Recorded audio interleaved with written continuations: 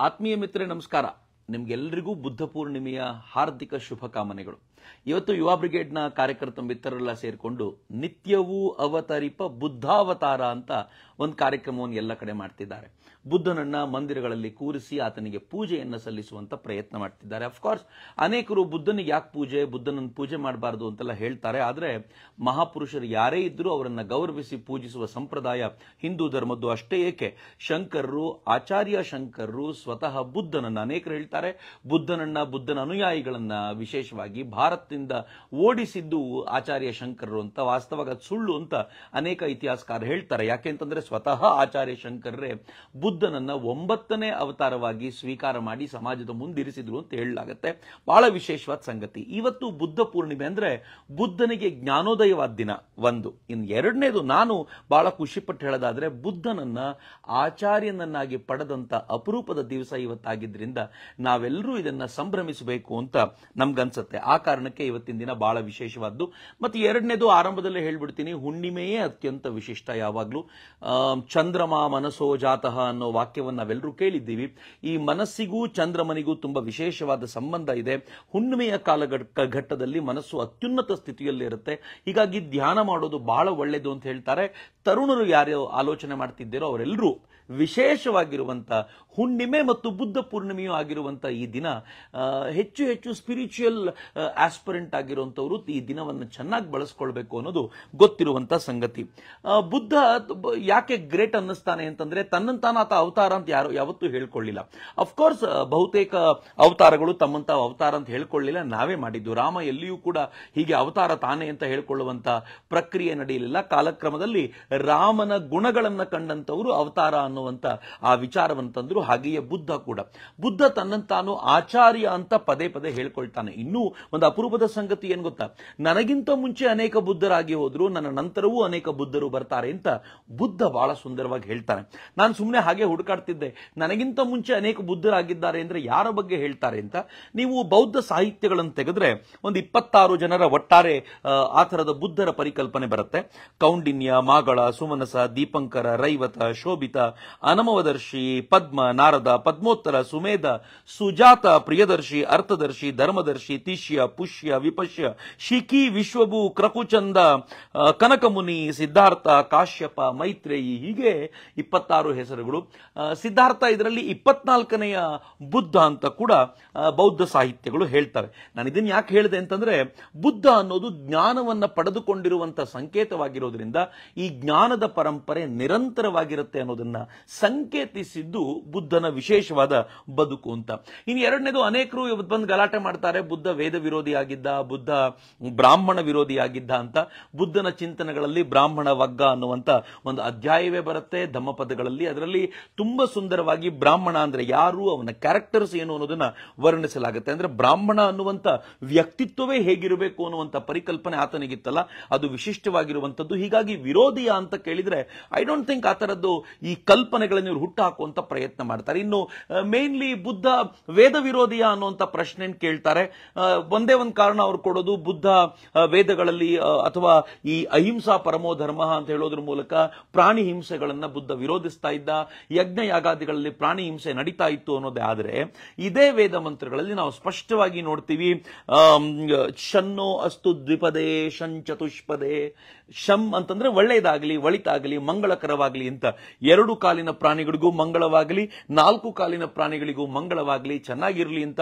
ಹಾಗೆಯೇ ಯಾವುದೇ ಪ್ರಾಣಿಗಳಿಗೆ ಹಿಂಸೆ ಮಾಡಬಾರದು ಅನ್ನುವಂತ ಚಿಂತನೆಗಳು ವೇದಗಳಿಗೆ ಹೊಸತೇನೂ ಅಲ್ಲ ಯಾವ ವೇದಗಳು ಸರ್ವೇ ಜನ ಸುಖಿನೋ ಭವಂತು ಎನ್ನುವಂಥ ತತ್ವವನ್ನ ಅತ್ಯಂತ ವಿಶಿಷ್ಟವಾಗಿ ಸಾರಿ ಹೇಳ್ತಾವೋ, ಯಾವ ವೇದಗಳಲ್ಲಿ ಪಂಚಭೂತಗಳಿಗೂ ಕೂಡ ಓಂ ದ್ಯೌ ಶಾಂತಿ ಅಂತರಿಕ್ಷ ಶಾಂತಿ ಪೃಥಿವಿ ಶಾಂತಿ ಆಪಶಾಂತಿ ಅಂತ ಎಲ್ಲದಕ್ಕೂ ಶಾಂತಿ ಸಿಗುವಂತೆ ಹಾರೈಸಲಾಗುತ್ತೋ ಅಂಥ ವೇದಗಳು ಈ ತರ ವಿರೋಧಿಯಾಗಿರ್ತವ, ವಿರೋಧಿಯಾಗಿರೋದು ಸಾಧ್ಯವ ಅಂತ ಕೇಳಿದ್ರೆ ವೇದಗಳಲ್ಲಿ ಪ್ರಾಣಿ ಹಿಂಸೆಗೆ ಪರ್ಫೆಕ್ಟ್ಲಿ ಅದಕ್ಕೆ ವಿರೋಧ ಇದೆ ಅನ್ನೋದು ತುಂಬಾ ಸ್ಪಷ್ಟವಾಗಿ ಗೊತ್ತಾಗುತ್ತೆ.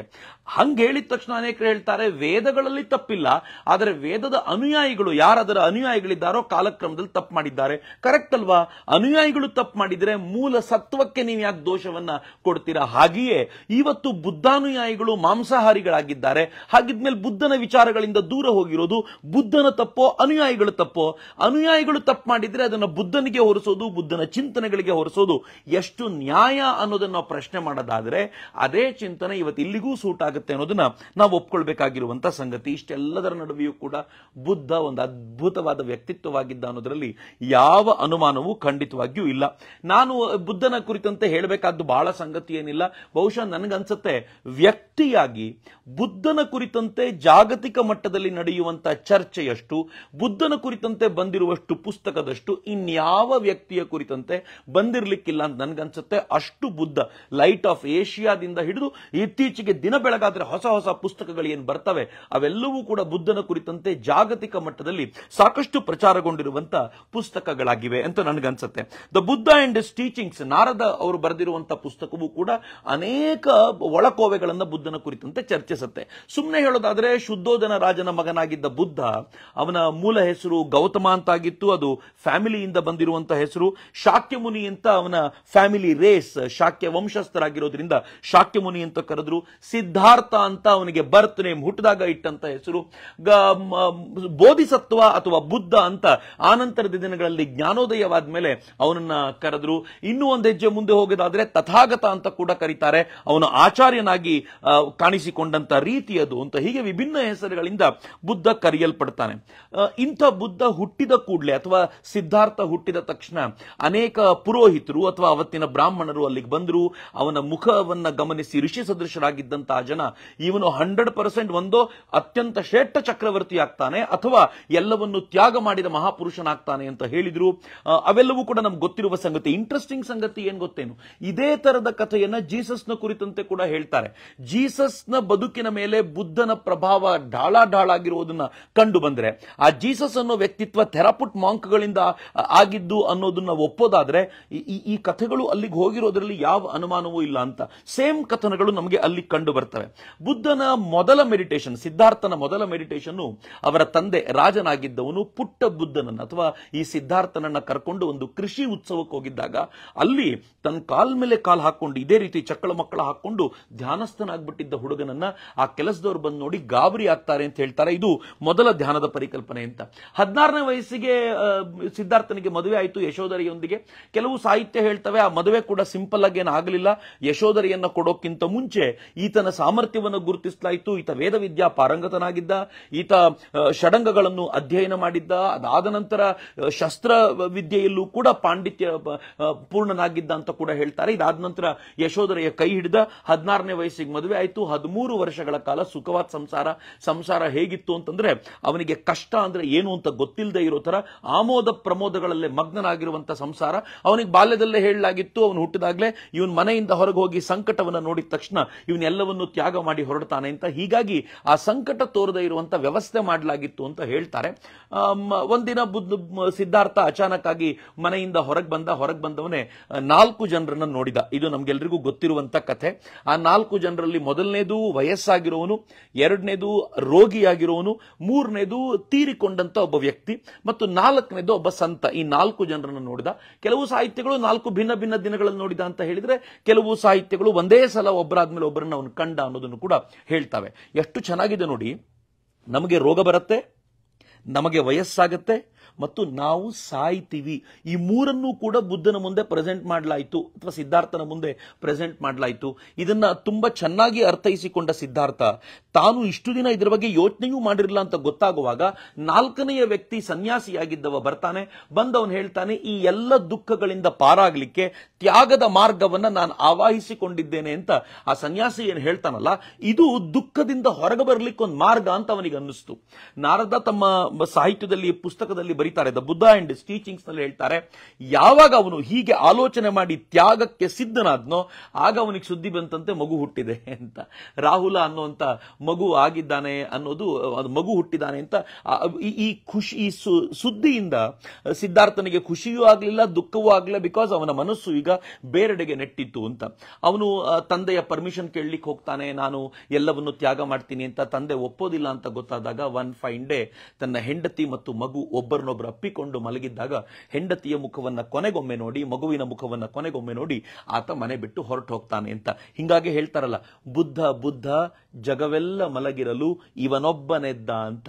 ಜಗತ್ತೆಲ್ಲ ಮಲಗಿರ್ತಾರೆ. ಹಾಗಂತ ಇದು ಕೂಡ ಹೊಸ ಸ್ಟೇಟ್ಮೆಂಟ್ ಅಂತ ತಿಳ್ಕೊಳ್ಬೇಡಿ.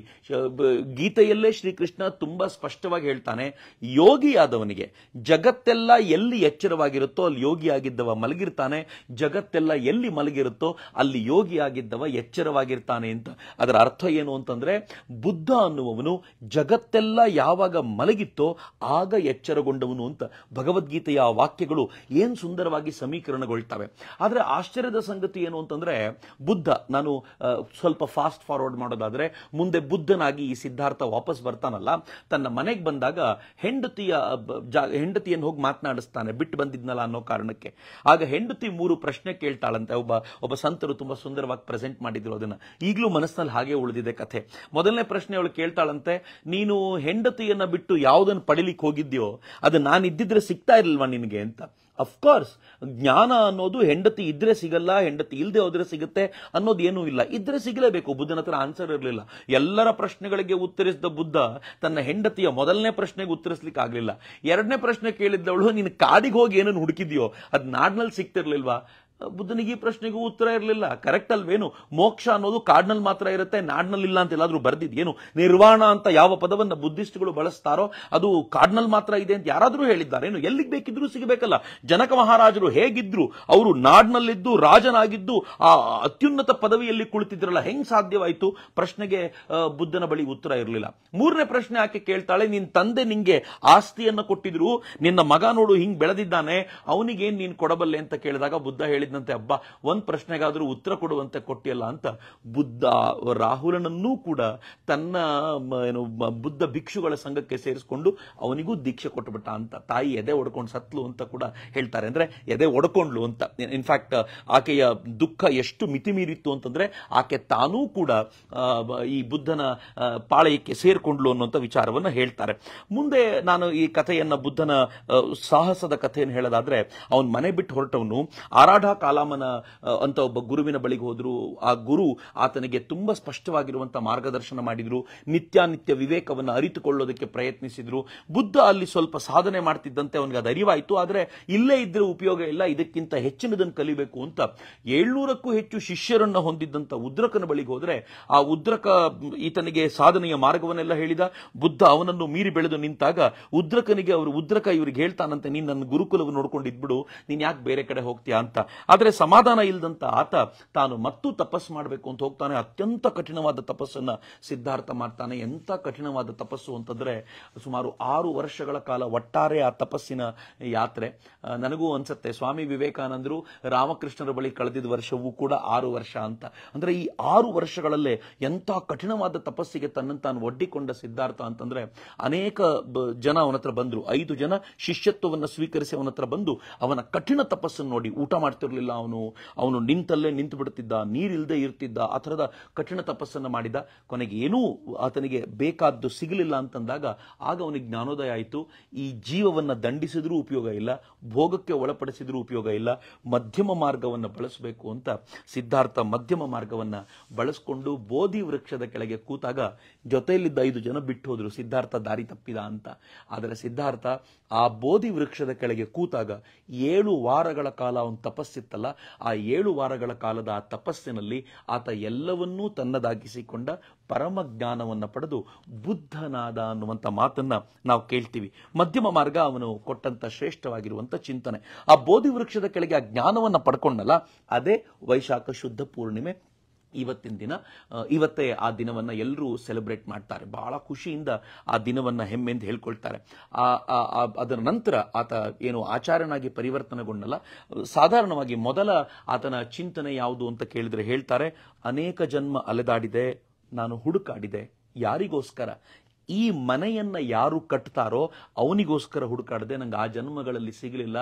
ಈಗ ಈ ಜನ್ಮದಲ್ಲಿ ಸಿಕ್ಕಿದ, ಇನ್ನು ನೀನು ಈ ಮನೆ ಕಟ್ಟೋದನ್ನು ಬಿಡಪ್ಪ ಅಂತ ನಾನು ಅವನಿಗೆ ಹೇಳಿದ್ದೀನಿ. ಬಯಕೆಗಳು ತೀರಿವೆ, ಅಜ್ಞಾನ ನಾಶವಾಗಿದೆ, ಮನಸ್ಸು ಮುಕ್ತವಾಗಿದೆ, ಆಸೆ ಇಲ್ಲವಾಗಿದೆ ಅನ್ನೋದು ಆತನ ಮೊದಲ ಮಾತು ಅಂತ ಹೇಳ್ತಾರೆ. ಬುದ್ಧನ ಬಳಿಗೆ ಅನೇಕರು ಬರ್ತಾರೆ. ರಾಜರ ಅಜಾತ ಶತ್ರುವಿನಂತ ರಾಜನಿಂದ ಹಿಡಿದು ಕಿಸಾ ಗೋತಮಿ ಅಂತ ಸಾಮಾನ್ಯ ಹೆಣ್ಣು ಮಗಳವರೆಗೆ ಪಾಯಸವನ್ನ ಹಿಡ್ಕೊಂಡು ಬಂದಿರುವಂತ ಸುಜಾತಳಿಂದ ಹಿಡಿದು ಅತ್ಯಂತ ಆಪ್ತ ಶಿಷ್ಯ ಆನಂದನವರೆಗೆ ಎಷ್ಟು ಜನ ಬುದ್ಧನ ಬಳಿಗೆ ಬಂದು ನಿರಂತರವಾಗಿ ಆತನ ವಿಚಾರಧಾರೆಯ ಆ ಅಮೃತವನ್ನು ಸ್ವೀಕಾರ ಮಾಡಿದ್ರು ಹೇಳಲಿಕ್ಕೆ ಬರೋದಿಲ್ಲ. ಹೀಗಾಗಿ ಬುದ್ಧ ಅಂತಂದಾಗ ಅದೊಂದು ದೊಡ್ಡ ಭಿಕ್ಷುಗಳ ಪಡೆ ಅಂತ. ಆತನನ್ನ ಚಿಕ್ಕಂದಿಂದ ವಿರೋಧಿಸ್ತಾ ಇದ್ದ ದೇವದತ್ತನೂ ಕೂಡ ಬುದ್ಧನ ಅನುಯಾಯಿ ಆಗ್ತಾನೆ. ಅಫ್ಕೋರ್ಸ್ ಆತ ಅವನ ವಿರೋಧಿಯಾಗಿ ಜೀವನ ಪರ್ಯಂತ ಇದ್ದಾಗಲೂ ಕೂಡ ಬುದ್ಧ ಎಲ್ಲವನ್ನು ಮೀರಿ ನಿಲ್ಲ ನಿಲ್ಲುವಂತ ಅಪರೂಪದ ವ್ಯಕ್ತಿ ಆಗ್ತಾನೆ ನಾಲ್ಕು ಸತ್ಯಗಳನ್ನ, ಆರ್ಯ ಸತ್ಯಗಳು ಅಂತ ಅದನ್ನು ಕರೀತಾರೆ. ಈ ನಾಲ್ಕು ಸತ್ಯಗಳನ್ನು ಬುದ್ಧ ಹೇಳಿದ ಮೊದಲನೇದು ದುಃಖ. ಜೀವನ ದುಃಖಮಯವಾಗಿದೆ. ಅದರಲ್ಲಿ ಯಾವ ಅನುಮಾನವೂ ಇಲ್ಲ ಅಂತ. ನಿರಂತರವಾದ ದುಃಖದೊಂದಿಗೆ ಸುಖವನ್ನ ಅನುಭವಿಸೋದು. ಇವತ್ತೊಂದು ದಿನ ಏನೋ ಸುಖವನ್ನ ಬಯಸಿದ್ವಿ ಅಥವಾ ಸಿಕ್ತು ಅಂದ ತಕ್ಷಣ ಅದರ ಹಿಂದೆ ಹಿಂದೆಯೇ ದುಃಖ ಇರುತ್ತೆ. ಬಿ ಕೇರ್ಫುಲ್ ಜೀವನ ದುಃಖಮಯವಾಗಿದೆ. ಮೊದಲನೇ ಚಿಂತನೆ. ನಾಲ್ಕು ಚಿಂತನೆ ಎಷ್ಟು ಸುಂದರವಾಗಿದೆ ನೋಡಿ. ಈ ನಾಲ್ಕು ಚಿಂತನೆಗಳ ಆಧಾರದ ಮೇಲೆ ಬದುಕನ್ನು ಕಟ್ಕೊಳ್ಳಿಕ್ಕೆ ಸಾಧ್ಯವಾಗುತ್ತೆ. ಎರಡನೇ ಚಿಂತನೆ ಬುದ್ಧ ಹೇಳ್ತಾನೆ ಆರ್ಯ ಸತ್ಯ, ದುಃಖ ಸಮುದಾಯ, ಆ ದುಃಖಕ್ಕೊಂದು ಕಾರಣ ಇದೆ. ಸುಮ್ ಸುಮ್ಮನೆ ದುಃಖ ಏನೋ ಬಂದ್ಬಿಡಲ್ಲ, ಆ ದುಃಖಕ್ಕೊಂದು ಕಾರಣ ಇದೆ. ಆ ದುಃಖದ ಕಾರಣ ಎಲ್ಲಿಂದ ಬರುತ್ತೆ ಅಂದ್ರೆ ಅವಿದ್ಯೆಯಿಂದ ಶುರುವಾಗುತ್ತೆ. ಅವಿದ್ಯೆಯಿಂದ ಸಂಸ್ಕಾರ, ಸಂಸ್ಕಾರದಿಂದ ವಿಜ್ಞಾನ, ವಿಜ್ಞಾನದಿಂದ ಏನೋ ಆತ ಷಡಾಯತನದ ಬಗ್ಗೆ ಮಾತಾಡ್ತಾನೆ, ಷಡೀಂದ್ರಿಯಗಳ ಕುರಿತಂತೆ ಮಾತಾಡ್ತಾನೆ. ಇವೆಲ್ಲವನ್ನು ಹೇಳ್ತಾ ಕೊನೆಗೇನು ಹೇಳ್ತಾನೆ ಅಂದ್ರೆ ಮೂರನೇ ಚಿಂತನೆಯಲ್ಲಿ ದುಃಖ ನಿರೋಧವೂ ಕೂಡ ಆಗತ್ತೆ ಅಂತ. ದುಃಖ ನಿರೋಧಕ್ಕೆ ಏನು ಮಾಡಬೇಕು ಅಂದ್ರೆ ಉಲ್ಟಾ ಹೋಗಬೇಕು ಅಂತ.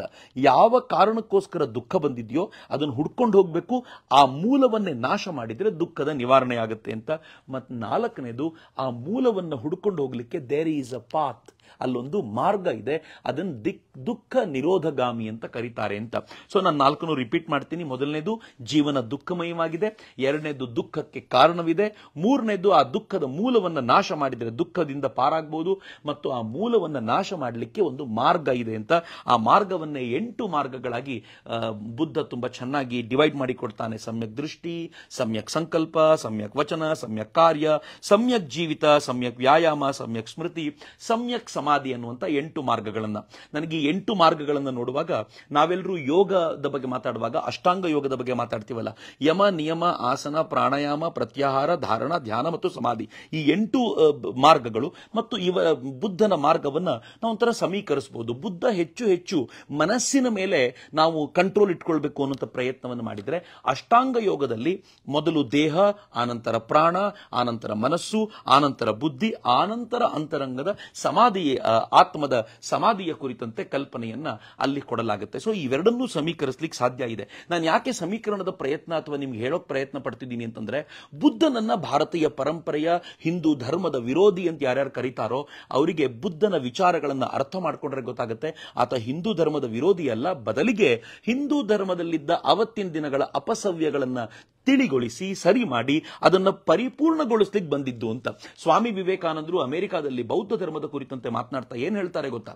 ಯಹೂದ್ಯರಿಂದ ಹುಟ್ಟಿದ್ದು ಕ್ರಿಶ್ಚಿಯಾನಿಟಿ ಯಹೂದ್ಯರು ಮೂಲ, ಅದರಿಂದ ಹುಟ್ಟಿದ್ದು ಕ್ರಿಶ್ಚಿಯಾನಿಟಿ. ಆದರೆ, ಆ ಕ್ರಿಶ್ಚಿಯಾನಿಟಿಯೇ ಮುಂದೆ ಯಹೂದ್ಯ ಧರ್ಮವನ್ನು ನುಂಗಿಬಿಡ್ತು. ಆದರೆ, ಹಿಂದೂ ಧರ್ಮದಿಂದ ಹುಟ್ಟಿದ ಬೌದ್ಧ ಧರ್ಮವನ್ನ ಹಿಂದೂ ಧರ್ಮ ತನ್ನೊಳಗೆ ಸೇರಿಸಿಕೊಳ್ತು. ಯಾಕೆಂದ್ರೆ, ಬೌದ್ಧ ಧರ್ಮ ವಿರೋಧಿಯಾಗಿ ಬಂದಿದ್ದಲ್ಲ, ಹಿಂದೂ ಧರ್ಮಕ್ಕೆ ಪೂರಕವಾಗಿ ಬಂದಿದ್ದು ಅಂತ. ಇವೆಲ್ಲವನ್ನು ಕೇಳುವಾಗ ಎಷ್ಟು ಆನಂದ ಅನ್ಸುತ್ತೆ ನೋಡಿ, ಬುದ್ಧ ಸಾಕ್ಷಾತ್ ಹಿಂದೂ ಧರ್ಮವನ್ನ ಪುನರುದ್ಧಾರ ಮಾಡಲಿಕ್ಕೆ ಅಂತ ನಾವೇನಾದರೂ ಕರೆಯೋದಾದ್ರೆ, ಆ ಕಾರಣಕ್ಕೋಸ್ಕರವೇ ಬಂದಿದ್ದು. ಮುಂದಿನ ದಿನಗಳಲ್ಲಿ ಮತ್ತೇನು ಶಿಥಿಲತೆ ಬಂತೋ, ಅದನ್ನು ಸರಿ ಮಾಡಲಿಕ್ಕೆ ಶಂಕರರು ಬಂದರು ಉದ್ದಕ್ಕೂ ಕೂಡ ಅನೇಕ ಆಚಾರ್ಯರು ಬಂದರು ಕೊನೆಗೆ ಸ್ವಾಮಿ ವಿವೇಕಾನಂದರವರೆಗೂ ನಿರಂತರವಾಗೂ ಈ ಪ್ರಕ್ರಿಯೆ ನಡೆದಿದೆಯಲ್ಲ, ಅದು ಹಿಂದೂ ಧರ್ಮಕ್ಕೆ ಪೂರಕವಾಗಿ ನಡೆಯುವಂಥದ್ದು. ಆ ಕಾರಣಕ್ಕೆ ಇವತ್ತು ನಾವೆಲ್ಲರೂ ಕೂಡ ಇವೆಲ್ಲವನ್ನು ಮನನ ಮಾಡ್ಕೊಳ್ತಾ ಬುದ್ಧ ಹಿಂದೂ ಧರ್ಮದ ಪುನರ್ ಪುನರುದ್ಧಾರಕನಾಗಿ ಬಂದ ಅನ್ನೋದನ್ನ ಮನಸ್ಸಿನಲ್ಲಿ ಗಟ್ಟಿ ಮಾಡಿಕೊಂಡು ದೇವಸ್ಥಾನಗಳಲ್ಲಿ ಇವತ್ತು ಅವನಿಗೆ ಪೂಜೆ ಸಲ್ಲಿಸಿ ಸ್ವಲ್ಪ ಹೊತ್ತಾದರೂ ಬುದ್ಧ ಧ್ಯಾನದಲ್ಲಿ ನಮ್ಮನ್ನು ನಾವು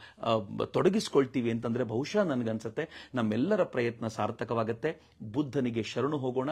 ಆ ಬುದ್ಧ ನಮ್ಮನ್ನ, ನಮ್, ನಮಗೂ ಕೂಡ ಬೆಳಕನ್ನು ಕೊಡುವಂತಾಗಲಿ ಅಂತ ಭಾವಿಸ್ತಾ ನಿಮ್ಗೆಲ್ರಿಗೂ ಮತ್ತೊಮ್ಮೆ ಬುದ್ಧ ಪೌರ್ಣಿಮೆಯ ಈ ಅಪರೂಪದ ದಿನದಂದು ವಿಶೇಷವಾದ ಅಭಿನಂದನೆಗಳನ್ನು ಪ್ರಾರ್ಥನೆಗಳನ್ನು ಸಲ್ಲಿಸ್ತಾ ನಾವೆಲ್ಲರೂ ಕೂಡ ಸ್ಪಿರಿಚುಯಲ್ ಮಾರ್ಗದಲ್ಲಿ ಒಂದು ಹೆಜ್ಜೆ ಮುಂದಿಡಲಿಕ್ಕೆ ಬುದ್ಧ ನಮಗೆ ಪ್ರೇರಣೆ ಕೊಡಲಿ ಅಂತ ಅತ್ಯಂತ ಕಳಕಳಿಯಿಂದ ಪ್ರಾರ್ಥಿಸಿ ನಿಮ್ಗೆಲ್ರಿಗೂ ಅಭಿನಂದನೆಗಳನ್ನು ಸಲ್ಲಿಸ್ತೀನಿ. ಒಂದೇ ಮಾತ್ರ. ಜೈ ಹಿಂದ್.